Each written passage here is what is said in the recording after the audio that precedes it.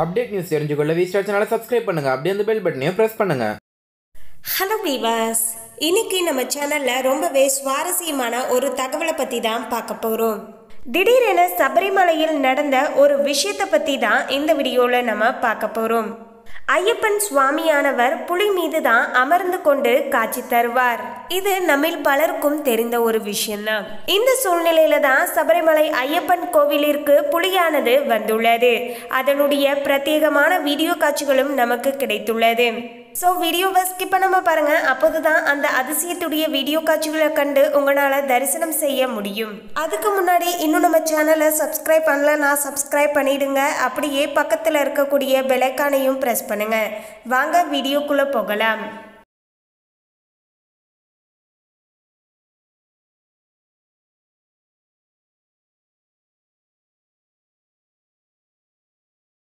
இதுதான் சபரிமலை ஐயப்பன் கோவில்ல உலா வரக்கூடிய அந்த புலியுடைய பிரத்யேகமான வீடியோ காட்சிகள் ஆகும். ஐயப்ப சுவாமியானது புலியை வாகனமாக கொண்டு தவ கோலத்துல சபரிமலையில அமர்ந்து அருள் பாலித்து வருகிறார். மகிசி என்ற அரக்கியை வதம் செய்ய அவதரித்தவன் தான் ஐயப்பன் சுவாமி. இப்படிப்பட்ட ஐயப்பன் சுவாமியுடைய வாகனமான புலியானது அவருடைய கோவிலுக்கு வந்து இருப்பது பலருக்குமே பரவசத்தை ஏற்படுத்தி இருந்தது என்றுதான் சொல்ல வேண்டும். அந்த ஒரு வீடியோ காட்சிகள் பற்றிய உங்களுடைய தனிப்பட்ட கருத்து என்ன அப்படிங்கிறதையும் எங்களோட கமெண்ட்ல ஷேர் பண்ணுங்க. மேலும் இந்த சபரிமலை ஐயப்பன் கோவிலில் நள்ளிரவில் புலியானது உலா வரக்கூடிய வீடியோ காட்சிகள் தான் தற்போது சமூக வலைத்தளங்களில் ரொம்பவே வைரலாக ஷேர் செய்யப்பட்டும் வருகிறது.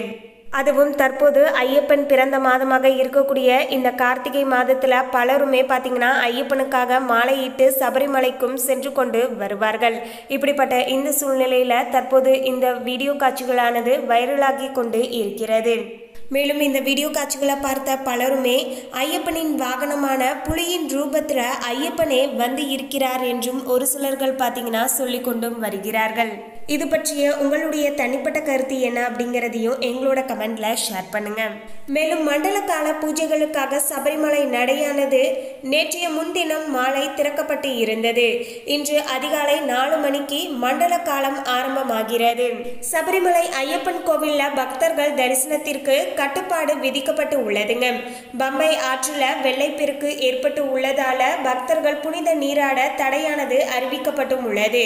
தமிழகத்தை விட ஒரு நாள் முன்னதாக கேரளாவில் கார்த்திகை ஒன்றாம் தேதி வருவதால நேற்று மாலை ஐந்து மணிக்கு சபரிமலை நடையானது திறக்கப்பட்டு இதுபோல இன்று அதிகாலை நாலு மணிக்கு புதிய மேல்சாந்தி பரமேஸ்வரன் நம்பூதிரி நடை திறந்து தீபம் ஏற்றியதும் இந்த ஆண்டுக்கான மண்டல காலமானது தொடங்கும்.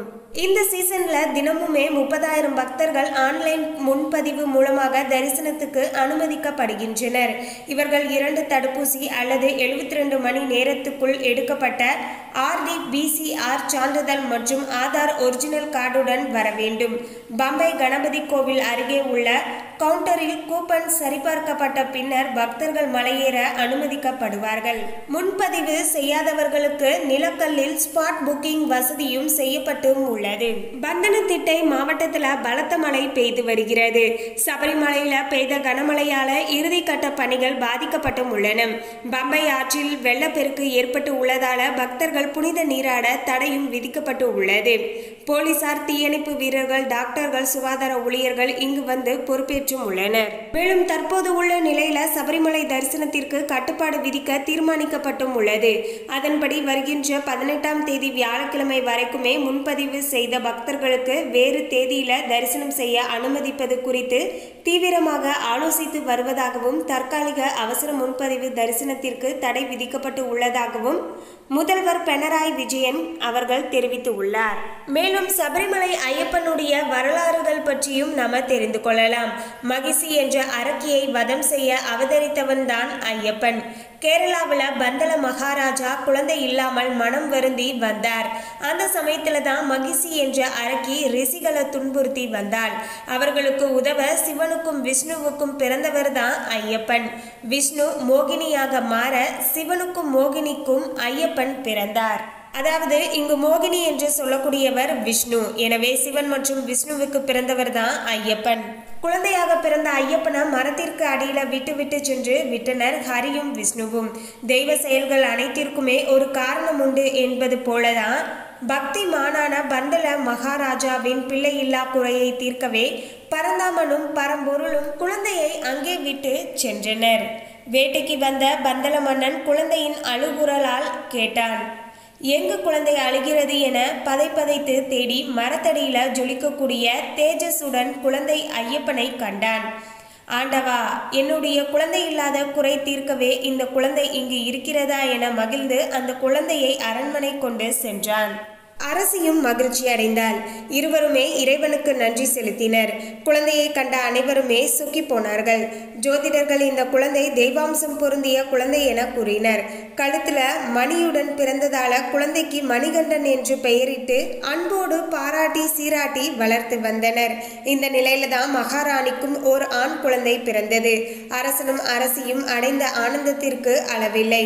மணிகண்டன் வந்த நேரம் நமக்கு குழந்தை பிறந்தது என ஆனந்தம் அடைந்தனர்.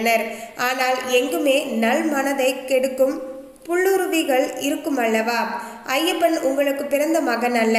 ஆனால் அவனையே தலைப்பிள்ளை போல் சீராட்டி வளர்க்கிறீர்கள். அதனால அடுத்த மன்னனாக அவன் வரவே வாய்ப்பு இருக்கிறது. உங்களுக்கு பிறந்த குழந்தை இருக்க வேறு யாரோ எப்படி அரசனாவது என அரசியின் மனதில் நஞ்சை கலந்தனர் சிலர். புதிய போதனைகளால் அரசியும் மனம் மாறினாள் தான் வயிற்று வழியால் அவதிப்படுவதாக பொய்யுரைத்தாள்.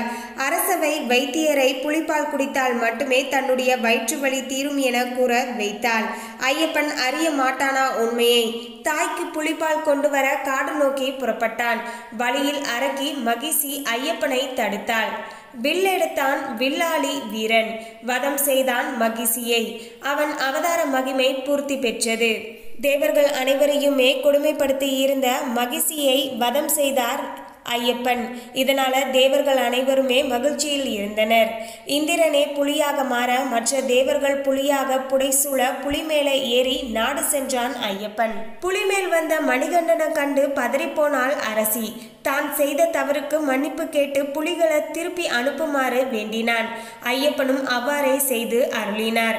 மேலும் தன்னுடைய அவதார காரணம் பூர்த்தி பெற்றதால தான் சபரிமலையில தவம் இருக்க போவதாகவும் தன்னை தரிசிக்க வேண்டுமானால் அங்கு வருமாறும் கூறி சபரிமலையில பதினெட்டு படிகளுக்கு மேல் தவ கோலத்துல அமர்ந்தார் அருள் தரக்கூடிய ஐயப்பன் சுவாமி.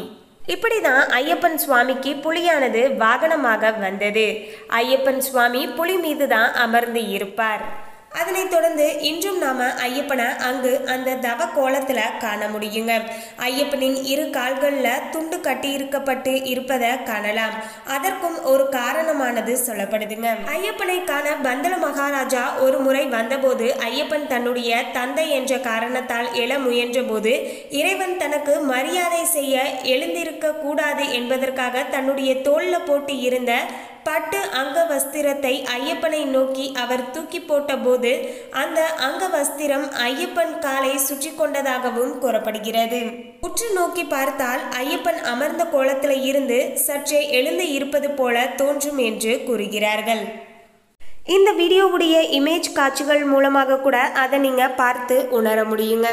மேலும் மற்ற கோவில்கள் போல் சபரிமலை ஐயப்பன் கோவில் வருடம் முழுவதும் திறந்து இருக்கப்பட்டு இருப்பது இல்லை. ஒவ்வொரு மலையாள மாதத்தின் கடைசி நாள் மாலை ஐந்து மணிக்கு கோவில் நடையானது திறக்கப்பட்டு மலையாள மாதத்தின் ஐந்தாவது நாளன்று நடையானது சாத்தப்படும். ஆண்டுதோறுமே நடைபெறுகின்ற மண்டல பூஜையானது மகர ஜோதி பூஜைகள் விசேஷமானது.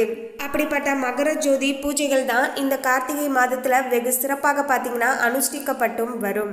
ஆனால் தற்போது கொரோனா தொற்று மற்றும் மழையின் காரணமாக பல்வேறு விதமான தடைகளும் பார்த்தீங்கன்னா அங்கு போடப்பட்டும் இருக்கிறது. எனவே மகிழ்ச்சியை வதம் செய்வதற்காக தேவர்களுடைய துன்பங்களை போக்குவதற்காகவும் சிவன் மற்றும் பெருமாளுக்கு பிறந்த குழந்தையாகத்தான் ஐயப்பனானவர் இருக்கிறார். இப்படிப்பட்ட இந்த ஐயப்பனுடைய வாகனம் தான் புலியாகவும் அமைந்துள்ளது. இப்படிப்பட்ட புலி தான் ஐயப்பனுடைய கோவில் என்று சொல்லக்கூடிய சபரிமலை ஐயப்பன் கோவிலில் உலா வந்து இருப்பது பலரையுமே நெகிழ்ச்சியை ஏற்படுத்தக்கூடிய வகையில் இருந்தது. உங்களுக்கு அந்த வீடியோவை பார்க்கும்போது எப்படி இருந்தது அப்படிங்கிறதையும் எங்களோட கமெண்ட்ல ஷேர் பண்ணுங்க. எனவே இன்னைக்கு நம்ம பார்த்த இந்த தகவல் உங்களுக்கு ரொம்பவே பயனுள்ளதாக அமைந்திருக்கும். மேலும் இந்த தகவலை பற்றிய உங்களுடைய கருத்தை கமெண்ட்ல பதிவு பண்ணுங்க. இந்த தகவல் உங்களுக்கு பிடிச்சிருந்தா லைக் பண்ணுங்க ஷேர் பண்ணுங்க. இது போன்ற சுவாரஸ்யமான தகவலை தெரிந்து கொள்ள சேனலை சப்ஸ்கிரைப் பண்ணுங்க. தேங்க்யூ